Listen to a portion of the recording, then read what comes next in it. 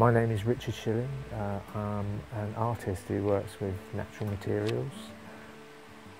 I'll just sit down and I'll find some materials that interest me. I'll start to make something.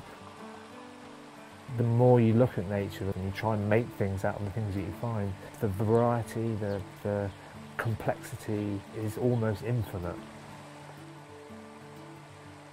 There's no secret to this art. It's really just a, just a way of tuning into what's there and then gifting yourself the time of being in that place.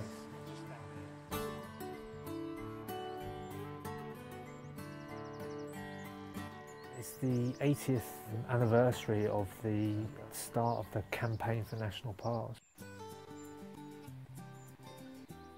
On the 30th of July, we're organising um, a family natural art workshop to happen at each of the uh, national parks right across the country to, to celebrate all the good work they've done, the amazing natural spaces that we have in our national parks and to, to um, encourage families and anyone else to appreciate them, to use them as much as possible.